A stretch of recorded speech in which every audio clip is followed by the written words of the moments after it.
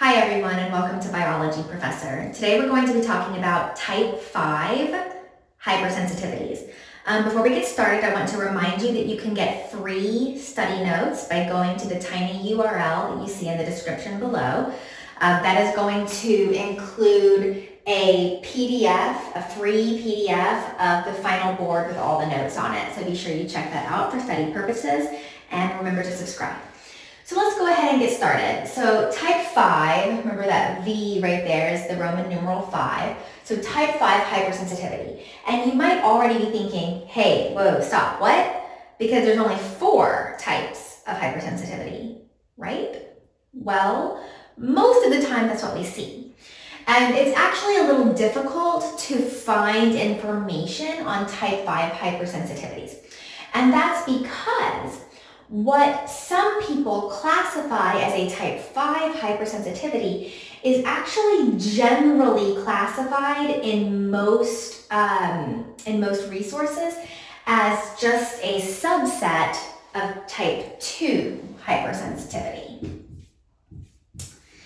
And so that's why if you go and look at, say, the Wikipedia page or um, various textbooks, you there's a good chance you're just going to see four types of hypersensitivities listed.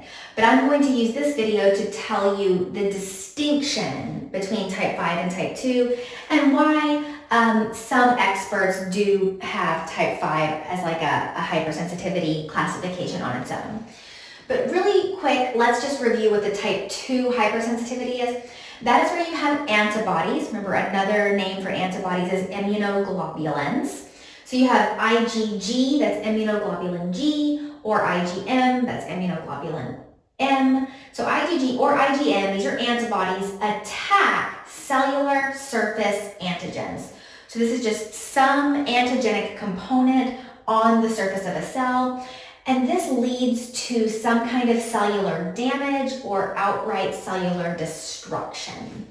So that's the hallmark of the type 2 hypersensitivity.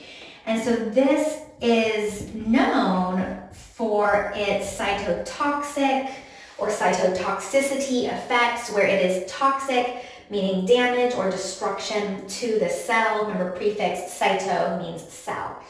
So what is type 5? Type 5 hypersensitivity is when you have one of those same types of antibodies, IgG or IgM, target not simply any surface antigen, but target a hormone receptor on a hormone producing cell. So whereas type 2 is looking at really any type of cell and antibodies attacking any surface antigen, type 5 is more specific. We're looking at hormone producing cells and specifically these antibodies targeting a hormone receptor on that hormone producing cell. Now an example of this is Graves' disease. So this is where antibodies will stimulate the actual receptor. So that's their target. They will, they will stimulate the thyroid stimulating hormone receptor leading to an overactive thyroid. Now, if you go to most textbooks or Wikipedia, for example, you'll actually see Graves' disease given as an example of a type 2 hypersensitivity. So I want you to be beware of that if you see it in both places. But in some situations, I think it's a little bit more prevalent, like over in Great Britain, um, you might see type 5 being not a subset of type 2, but being its own classification of hypersensitivity. Um, I want to point out one more thing. You know, whereas type 2 is associated with this cytotoxic effect, certainly an overactive thyroid is not a good thing, but it's not necessarily resulting in a lot of cellular destruction, which is another reason why this might be set aside as a separate type of hypersensitivity.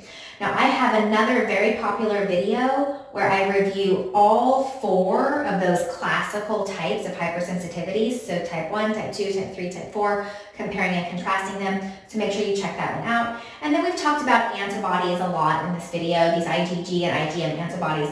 So if you want to learn a little bit more about antibodies and their structure and their function, then I've also got a video on that. Make sure you remember to subscribe. Check out that link below for free study notes for a picture of the final board in PDF form. And I will see you next time. Good luck with your studying and bye for now.